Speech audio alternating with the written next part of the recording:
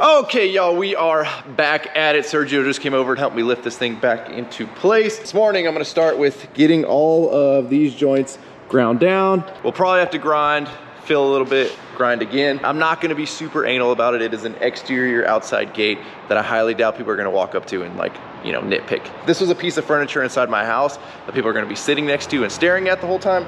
That would be different. But for something exterior, let's just get it ground down pretty flush, make it look nice. These gates are gonna get powder coated. Powder coating doesn't hide as much as you would think.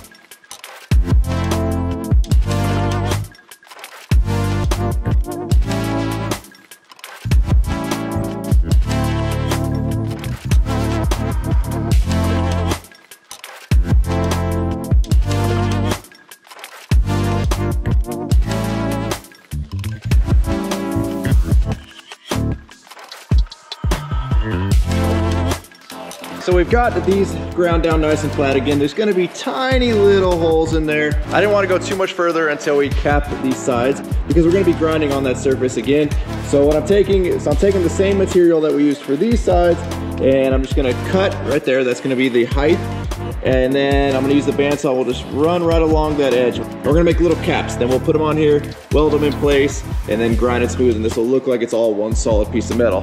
One of the other ways we could have done it if we really wanted to is we could have run the two by on the outside here and then cap the top if you want, leave the bottom open. That way uh, any water that does get in can get out.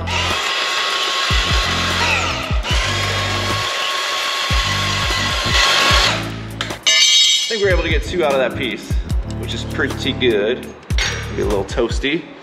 But now these will just made up right there, like so. Okay, we'll wait till that cools down before we uh, demonstrate that one. Not really the easiest spot to clamp something in place, so we're just gonna line it up, hold it in place. Now we're gonna go through, we're gonna weld it all the way around, and then we'll grind it. We'll grind this little radius into it on both sides.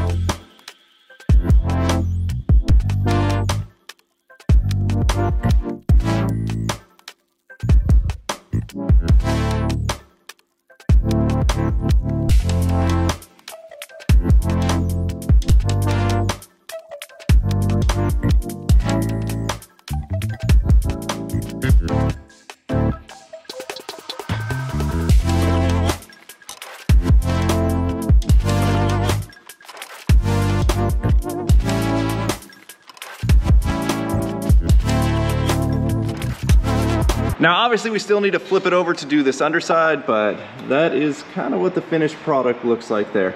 And really, you can geek out on this as much as you want. Again, if this was like a finished piece of furniture, feel free to like take a little extra time and make that like ultra super perfect. But if you look at most wrought iron out there, uh, this is like way further than most of those uh, shops actually go. And for good reason. There's a ton of time in finishing out edges and stuff like this. Okay, well all four corners, both sides took significantly longer than I had planned especially because I got like 17 phone calls in the meantime and it's really hard to talk on the phone while you're grinding corners. So I had to stop, talk on the phone, start grinding, stop, talk on the phone, yada yada. Anyways, they are done. Corners are done. And now we're gonna be moving on to our center section. This just happened to work out perfectly. We had this flat bar, I believe that's half inch. I haven't really measured it. Mathematically, it would make sense to be half inch. So I'm gonna use that to rest our one by three on top of, and then you can see we put another piece of this flat bar on top, we are flushed out right there which means we are dead center. So this is gonna be our spacer. It's just gonna be on top of this 2x that we're using to hold everything up while we're welding it together. And then we already pre-cut all of our 4x4 spacers that are gonna give us this dimension. These welds, obviously, we're not gonna be able to grind down, so they gotta look halfway decent. Kind of going back and forth on how I should do these. I should tack tack on both sides, run all of them, make sure everything works and then come through and re-weld it. But right now, everything's as clamped as it's like gonna get. So should I just tack tack both sides, fully weld this one, then move on to the next one? I don't know what the right answer to that one is.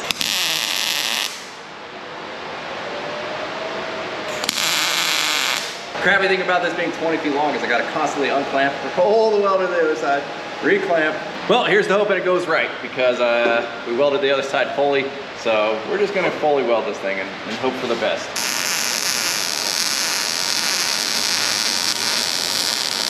Got a little hot at one point. It's not too bad of a weld though. And uh, this is 14 gauge, or 16 gauge, sorry, the cross section. So they're a little bit thinner and we're welding on an edge with a tiny gap.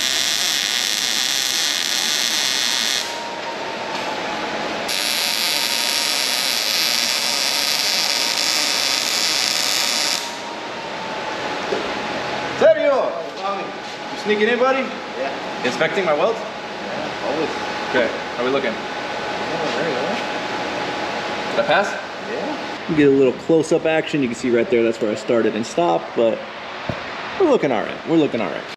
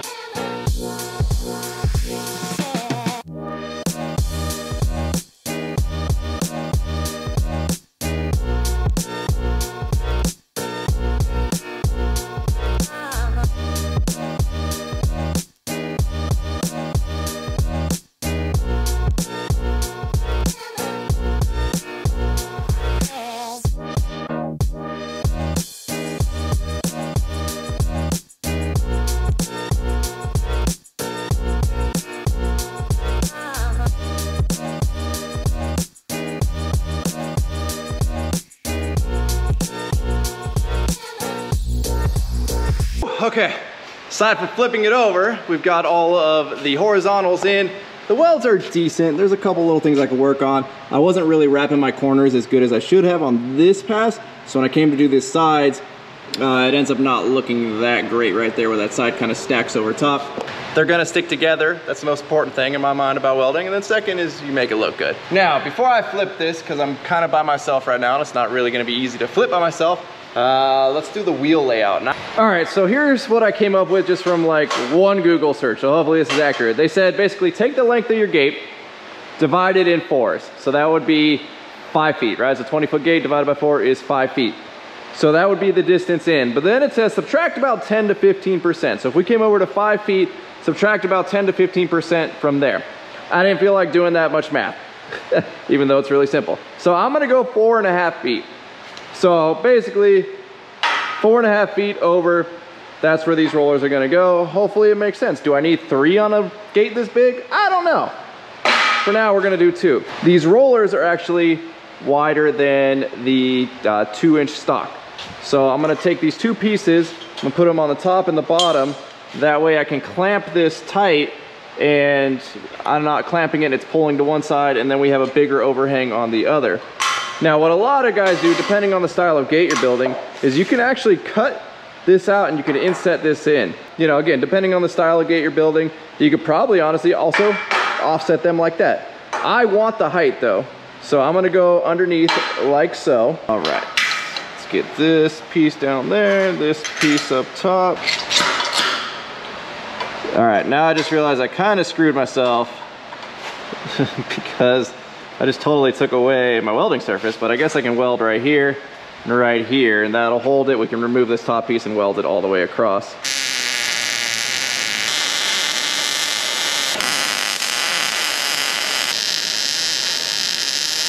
Okay, well, I opted just to weld the entire tops. I figure all the weight's gonna be on these two wheels, so we should probably make that pretty strong. So we're gonna be back tomorrow, and with Sergio's help, I'll flip this entire thing over. We'll weld the last little bit, and then we're pretty much done with the gate. We'll set it on the track. Okay, it's the last day of this video. You can see I brought my trailer because I'm confident that the gate is gonna be leaving today.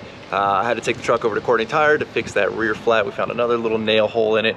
I swear, I don't know what it is with that truck, but I've never really had to deal with flat tires except for that damn truck.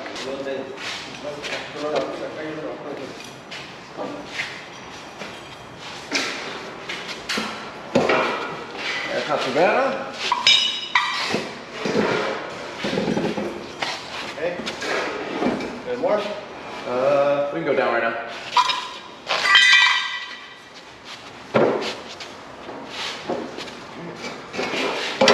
I gotta say, she was not like unmanageably heavy, so that's a good sign. The one thing I'm trying to avoid is I'm trying to avoid putting in uh, some vertical supports. Now obviously these, these move, right? And they're gonna move. And less movement is better for your welds cracking and all that, but I think it looks cleaner without having any vertical supports. I've seen some gates that are similar sized without them. I've never seen one this big without any vertical support. So once we stand it up, I'll take a look at it, reevaluate. I don't think we're gonna see like sag in these. Maybe you will on the tall end like you would uh, a piece of wood.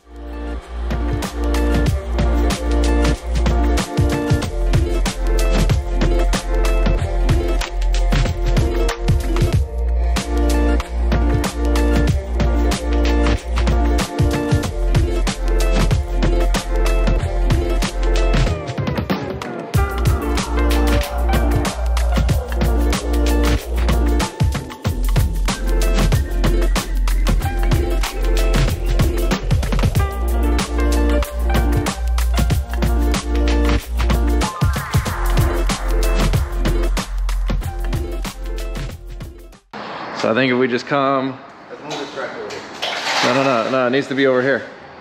Cause it's gonna have to lean on something when you walk away.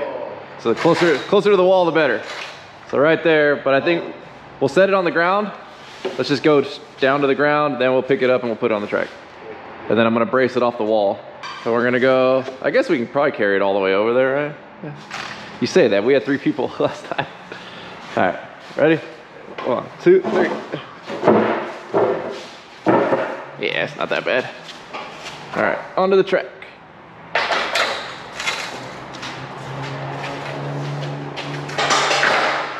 We on? Look at that. There you go. Look at that, Sergio. She works. Nice. That's right. Look at that. Professional, Sergio. All right, let go. Woo! I don't want to be near this thing. Woo! All right, super stoked to see this thing standing up. This is a large gate. Now that I see it standing, I'm not concerned about putting in any type of vertical support. The only issue I see at the current moment is there's a little radius to these one by threes. So obviously we want to be right here in the center. Well, stand this up straight. You can see that without having something right here, it almost flushes out in the back.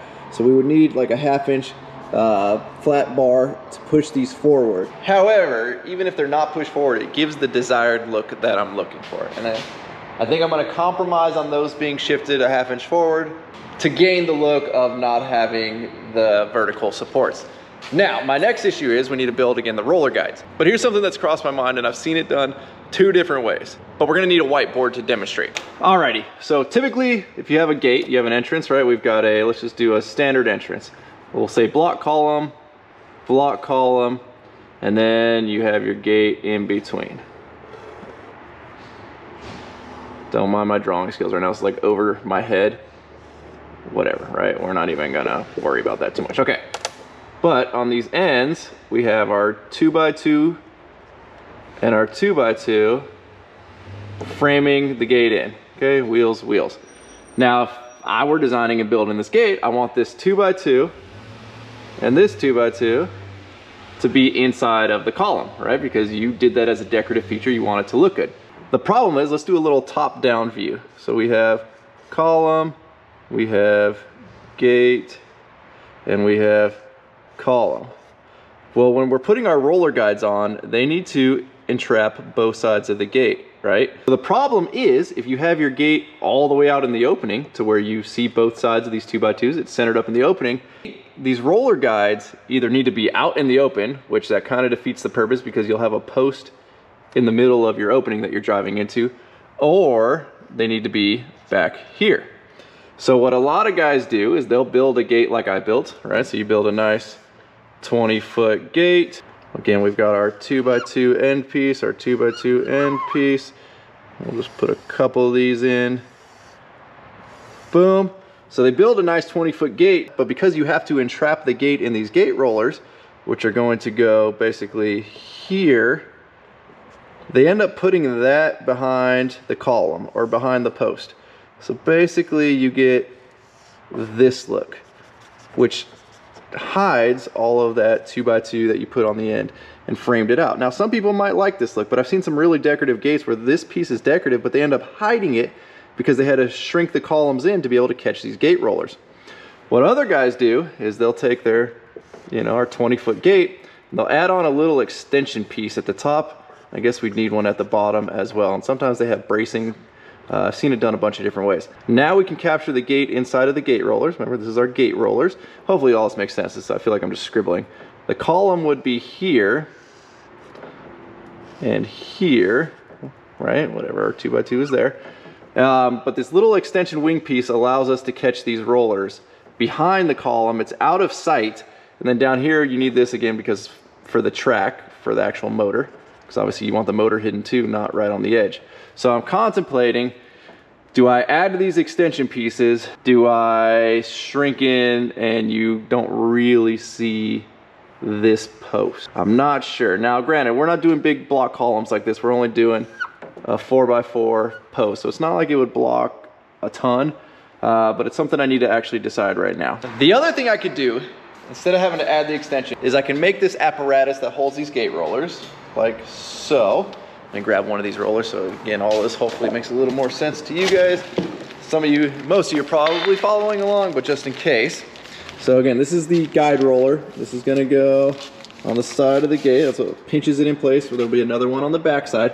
But what we could do is we could make this piece like a U shape, uh, kind of stuck here. We're gonna have to drop this, we're one hand down. So I can make a U that goes here over the top and back down. It'll hold the roller here as well as the roller there. And if I do it right and I get it to line up directly with that 2 by, when this thing is closed all the way, you won't actually see this 2 by, but you will see this 2 by. Uh, and maybe that'll just kind of compensate for it. And then over there, wherever that post ends up, that's where it ends up. But I don't know, guys. I really don't want to weld on extension pieces, but I think I'm going to have to anyway because I'm not doing a chain drive on this gate. We're actually doing a gear drive. I found a decently priced motor on Amazon, had really good reviews. Um, I know a lot of you gate builders out there are gonna like swear by LiftMaster or swear by whatever. And trust me, when we're doing the main entrance front gates, they're gonna be some gnarly LiftMaster motors. But for this, uh, I think we can get away with, with what I got planned. But I think for the bottom, because we're not doing chain drive, we're gonna need an extension for the gearing to grab onto. And I kinda wanted to be done welding on the actual gate itself but that might be what we have to do. Alrighty, y'all. So as much as I hate doing things for no reason and having to redo things, uh, I think going with the extensions off of there and there is the right answer for this. We've used up all of the 14 gauge 2x3 because again, these were 20 foot long sections. So all we had was like these tiny little cutoffs. But I do have some leftover eighth inch 2x3 from when we did the gooseneck or the mini gooseneck trailer for the mini truck. So we're gonna use this. I'm gonna make a 16 inch extension piece we're gonna put on the bottom which means I totally capped that end for no reason. um, and we're gonna have to cap this end. And then I'm probably gonna do just a two by two up top, just something small right there. All this needs to come back to is to wherever our, our little roller system is. So we'll probably just come back to maybe here. So let's get this cut. Stuff's pretty thick.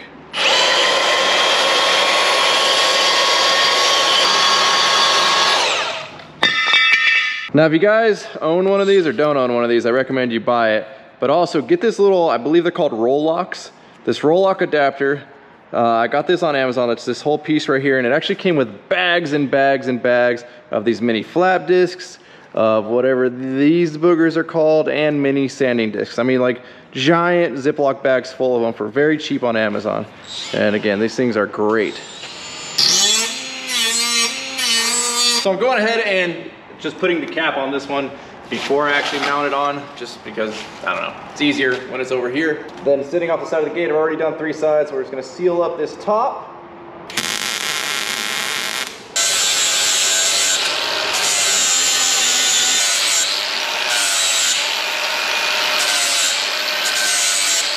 Now I'd already clamped up this piece of 2x before I decided to cap them off and I don't really want to unclamp it. I've got a bunch of straight pieces that I've run over the plane of this. That way uh, I'm trying my best to ensure that this piece of 2x is in the exact same plane on this axis and on this axis as the gate. That way it doesn't really look funky or chatter if this part enters where the rollers are going to be. We want it all to be nice and straight. So, so this extra piece is clamped along the side and that's keeping us straight this way and this top piece is keeping us straight this way. So let's go ahead and get this welded on.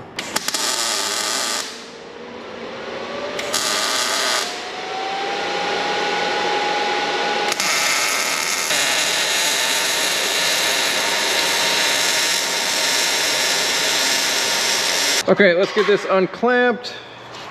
Then we can weld it all the way around. Then we gotta clamp that bottom one on. Looking pretty good. Looking pretty good and pretty straight.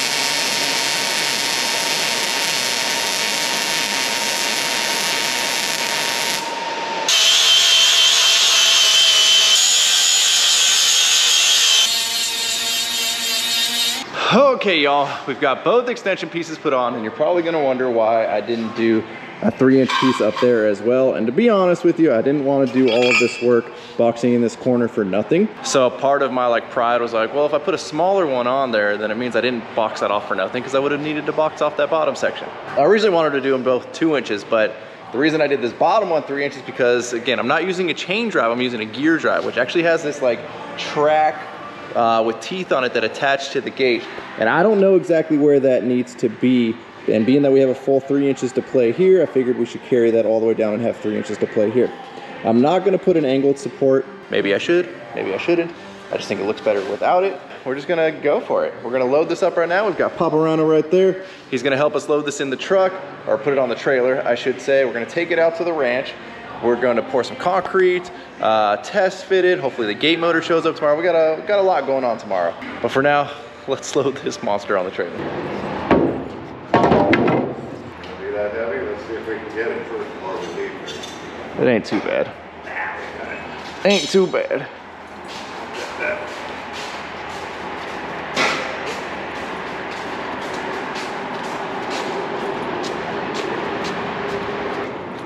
Now we can push it to the metal. Uh, that's probably better, closer to the middle.